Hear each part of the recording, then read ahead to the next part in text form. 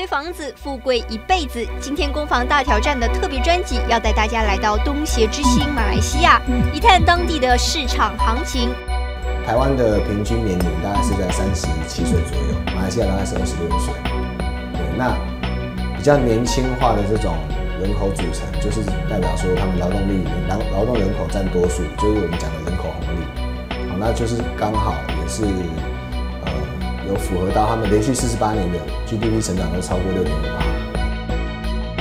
因为马来西亚本身它自己本身呃有非常丰富的这种天然资源，哦，他们有他们的橡胶，哦，橡胶是世界排名第三，那中油出口是世界排名第一，然后本身我就说还有石油，还有天然，然后还有产铜铁这些贵金属，所以它国家它的资源是非常的丰富的。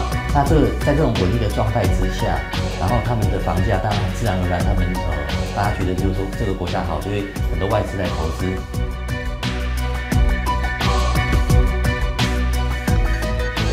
目前政府一直在做多，尤其是对吉隆坡这个城市，他们有推出一个二零二零宏愿，那其中呢包括有一个叫大吉隆坡计划，他们政府拨了一千七百二十亿令吉，就相当于台币一兆七千两百亿，要把吉隆坡打造成一个呃。未来，呃，这个全球前二十大适合居住的城市。那中国大陆也基于东协这个市场，而且也基于马来西亚。中国大陆他们斥资两百五十亿，哦，打造这个泛亚铁路。那另外第二个部分就是说，他们现在目前哦有一个很重大的投资，哦，就是新加坡跟吉隆坡哦已经动工了，就是说他们要盖一条这个跨国性的高铁，叫做龙兴高铁。那这个。高铁的距离大概差不多三百公里，只要九十分钟，所以以后这种一日生活圈行程哦，他们会非常非常的方便。那有趣的是，这个九七年刚好是他们双子星落成的那一年。以前的马来西亚哈，有一次他们在一九九七年金融风暴，马来西亚那时候也损失了大概三千亿的美金，他们就锁国，他们就是靠自己的内需撑起来。很好，那我有。有一些客户有去，当时有去那边观光过。他说九九，他差不多九七年去的时候，整个吉隆坡市中心呢就一栋双子星最高，周边全部都是矮房子。好，那是到零六年开放以后，我们现在去如果到现场去看哈，双子星旁边很多高楼大厦，因为它零六年开开放嘛，所有的外资开始进驻，进驻以后他们还是看到机会，所以都一直在盖，一直在盖房子这样。所以他们的整个市中心的发展其实是从这最近这几年才开始，对。好，马来西亚可以说是全球十八亿回教徒的门户，而且它这几年来进步的非常快。后老师，是我们看一下那个马来西亚的一些基本的资料啊，就知道说其实它的那个就是种族是多元的种族。嗯，那现在如果用多元文化的角度来讲啊，他们号称就是说刚好跟世界上主要的人口都都有语言相通的优势。嗯，他们的华人其实也不只是讲华语而已。像在吉隆坡市中心，福建话、福建话、广东话、潮州话，像我们讲的台语，在当地其实他们都各个各个族群的华人，因为华人也是有来自各个不同的省份嘛，所以他们在当地也都可以通。其实因为在马来西亚，百分之二十五，大概四分之一的华人掌握他们大概七七成到八成左右的国家的经济动脉，对，所以但是马来人相对占的是比较多数，但是却是占比较弱势，所以他们就有一种。这个华人来掌控经济，那马来人的部分来他们来运作政治的部分，那相对就会有一些比较保护他们比较弱势马来人的这个部分。那以我们在买买房来讲好了，他们一个发展商要盖一间房子之前呢，他必须先公告九个月的时间。那这九个月时间让马来人当地的马来人他有优先购买的这个权利，优先承购权，那可以打折吗？价格会比较他们有稍微便宜一点的，大概会在总价。两趴到三趴这样子，要保护他们，在政策上面要保护马来人就对了。对对对，嗯嗯，废话不多说，赶紧去看第一栋房子。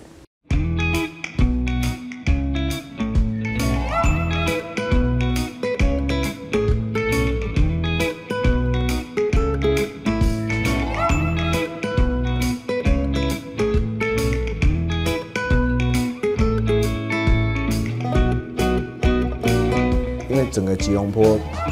的范围大概就像台北市跟新北市这么大，那他们也预现在目前大概是六百万人，他们也是预计在二零二零年会提升到一千万人。那我们就是看好说这样子有相当多的不管是就业或是这个人潮的涌入，它它的房市需求量就会激增。那我们这个竟然是现现在讲的这一个是标榜，它每一户都可以看到双子星完整的。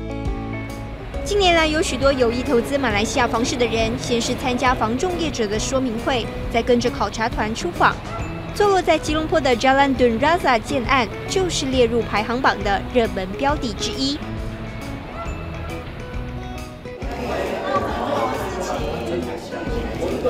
那呃，现在在我身后的这四栋建筑呢，是我们在双子星塔的北方，大概一点五公里的距离所推出一个新的建案。A、B 栋算是第一期，C、D 栋算是第二期。那我们现在推的是第二期里面的 D 栋。早上我们其实有带客户到我们的第一期 A、B 栋的三十四楼公社层上面去做参观。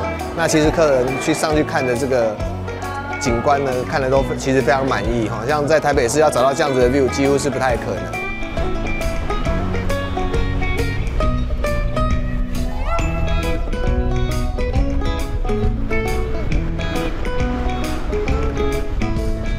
那它的面后面的部分，它可以看到有一个 T T 汪沙湖。T T 汪沙湖是吉隆坡市中心里面最大的面积的一个湖，大概是大安森林公园面积的两倍大。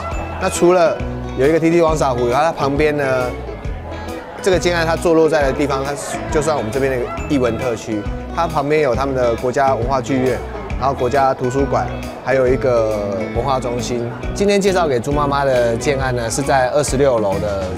第三户这一户，那它是一个一加一房的一个单位。好，那我们现在去看一下样品屋吧。这个建案最特别的是，它的每一户都拥有自己独立的使用电梯，意思就是每个人回家电梯一开门就是自家的玄关喽。这个一般是要到非常顶级的豪宅才会做到这样子，不然它一般都会经过先经过公共空间，然后再到自己的家门口，你才能进去这样子。对，好。它现场展示的样品屋跟刚刚我介绍给朱妈妈的其实是不太一样。那从我们刚刚讲的玄关打开门进到客厅以后，一样是它会先经过一个餐厅。那前面呢就是我们开客餐厅是开放式的，通过客厅之后，外面有一个非常宽敞的阳台，在这阳台上面呢，你就可以看一览这个整个吉隆坡的市景，非常漂亮。那餐厅的旁边呢，我们就可以从中间这个空间呢。转到厨房的地方，那因为这个建案它所提供的是简装修，整套的厨具呢，大概总总共的价值差不多是新台币大概五六十万左右，那全部都是用一个瑞典的牌子，所以它建商。在这个部分，厨具的部分用用料还是用的非常好。那另外，它在这个厨房的旁边呢，还有做半套的这个卫浴，哈，里面就是有简单的洗手台跟马桶，让参访的客人呢来做使用。那我们现在在的位置就是它的整个房子的主卧室。主卧室里面呢，它有一套完整的卫浴。那这个卫浴比较特别呢，是它每一间的卫浴它都有一个深六十公分的降板浴缸，就它到时候这边呢。因为我们现在样品屋是盖在别人的房子上面啊，但是它实际盖的时候，它这个地方会下往下挖六十公分。那现在看到的是透明的玻璃，到时候建商会贴全部贴上雾面的。那刚刚它的阳台是在客厅的部分，所以这个主卧的部分是没有阳台的。比较特别的是说，它整个是呈现一个弧形的造型，所以它在它的卧室的地方呢，会有一面墙是有点这样会做斜面的设计。那这样的设计呢，一般我们台湾的客户可能第一眼看到会觉得说这样子很比较不比较不习惯，因为他们台湾人呢就比较喜欢格局方正的房子。但是呢，考虑到因为不是自住，外国人其实对于这样子的的格局呢排斥，其实不会太排斥，所以呢，其实反映客户的反应到最后也都还不还不错。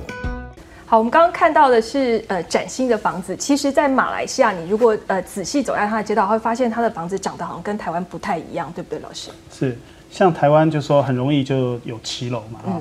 那在那个马来西亚这边哈，它是西式的建筑，然后呢，就说传统的建筑里面是高脚屋或者是矮房子。那如果说展现在现在这个大楼哈，它也会受这个影响。通常它是地下的几层楼。是作为停车场之用，不像我们都是在地下室有停车场，对不对？一个是不需要，另外一个他们也可能就说，呃，挖深的这个地下室来停车觉得不安全。那另外就是像在那个在马来西亚的大楼，一般来讲它的公社哈、呃会相会相当多，占的地方也大。同时呢，因为它地方大的关系哈、所以它可以在造型上有比较多的变化，不会像台湾这边都盖得方方正正。哦，马来西亚很特别，它公社不用钱，对对不对？公社不用钱，可是你使用公社是要钱的。就是像我们台湾付的管理费，嗯意思一样。好，那个跟大家赶快讲一讲这栋房子的。我们这个个案哈，它现在目前坐落的地方在是在吉隆坡，我们叫它的艺文特区。它旁边有它的国家文化艺廊，它的国家剧院、国家图书馆，还有一个甚至还有一个心脏权威中心。那后面还有一个比较大的一个湖，呃，算是湖滨公园，有绿地就对了。有绿地，大概是大安森林公园的二点五倍大。大家应该蛮好奇的，就是价格啊。对，对，它看起来平数应该有三十几平吧？十平是三十五平多，嗯，对，三十五平多。那它是不是两房两厅的这种规划？有豪宅的配备在里面。对，刚刚讲的独门独户的这种电梯，嗯好、户户专用的专属电梯。那另外是每一户都可以看到双子星。那这样的价格要多少钱？以现在目前这一户，我们在十四楼来讲的这一户，哈，它的单总价呢是以台币来换算，大概是一千两百八十九万一。千两百八十九万，换算过来的每平单价大概是三十三十三、三十四万左三右。三三十四万左右。对，这价格，而且可以看到双子星，有 view，会觉得好像还让人挺心动的。其实如果呃这个建案我如果要自住的话，我是首选，我是大概会很满意这样子。嗯，其实就世界各国，好像美国它的中央公园周边啦，还有就是像我们台湾台中的绿园道周边，还有我们大安森林公园台北嘛，大家都知道，在第一排的房价都是最高、最呃最贵的。嗯，对，那当然它的这个地段也是首选。这个这个物件呢，它周边又是国家的一些剧院建设等等的，呃，相当相当的也不错。我们如果把它的周边条件条件来类比成台北市的话，它应该算是哪里？差不多是像这个大安区加上中正区，有有这样子的概念吗？差不多。差不多。差不多，嗯而且它这条路啊是非常大的路，是主要干道之一。主要干道之一，可是它好像离它的市中心有一点点距离吧？这也是是猪妈的考虑嘛？是因为我我是以投资的角度去看，我打算希望有租金可以收。那我刚刚讲了，如果这个是要自住，我要去在那边常住的话，这个绝对是我的首选。它的游泳池好像是五十米，五十米很标准然后户户有露台。这个是很吸引我的地方。而且一瓶才三十几万，看起来真的很让人心动。可是它不符合我们猪妈的那个第一次出国去买房子的主要目的，她一定要选择在黄金地段去买房子。所以没关系，呃，稍后回来我们还要再去看看符合猪妈条件标准的这个黄金地段的房子究竟长什么样。休息一下，马上回来再去挑另外一栋房。